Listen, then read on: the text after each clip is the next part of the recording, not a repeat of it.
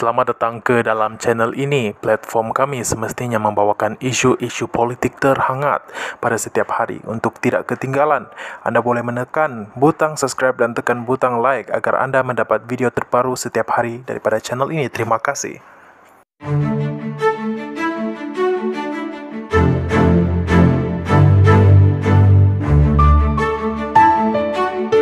Sebelum kita lanjutkan ke berita terkini, anda diwajibkan untuk menekan butang subscribe dan aktifkan loceng anda untuk mendapat info terbaru setiap hari. Terima kasih. Rafizi berkata kerajaan sementara tak boleh lulus kontrak ketika peralihan. Timbalan Presiden PKR Rafizi Ramli mendakwa kerajaan sementara dalam usaha meluluskan projek bernilai berbilion ringgit dengan segera. Rafizi berkata, ya walaupun pekeliling yang dikeluarkan perbendaharaan menghalang kerajaan sementara memeterai sebarang komitmen kontrak atau aku janji yang memberi implikasi kewangan kepada kerajaan baru selepas PRU15.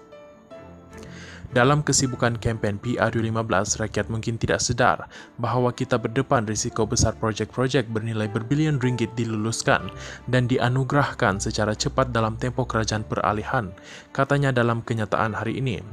Calon Parlimen Pandan itu berkata salah satu kontrak melibatkan Kementerian Alam Sekitar dan Air berhubung projek tebatan banjir di Melaka. Dia mendakwa satu tender bernilai 578.6 juta ringgit Malaysia telah dianugerahkan kepada sebuah syarikat yang didakwanya sebagai kroni AMNO. Projek itu dilaporkan diumumkan Perdana Menteri Ismail Sabri Yaakob pada 14 Oktober lalu, empat hari selepas Parlimen dibubarkan. Sementara itu, Rafizi mendakwa Kementerian Alam Sekitar dan Air juga dalam proses memberikan kontrak bernilai 2 bilion ringgit Malaysia secara rundingan terus kepada syarikat sama untuk kerja tebatan banjir di Sungai Langat 2. Justru dia menggesah Menteri Alam Sekitar dan Air Tuan Ibrahim Tuan Man menjelaskan dakwaan itu. Malaysia kini telah menghubungi syarikat yang didakwa terlibat itu untuk mendapatkan respon mereka. Pekeliling yang dimaksudkan Rafizi dikeluarkan pada 18 Oktober lalu. Bagaimanapun,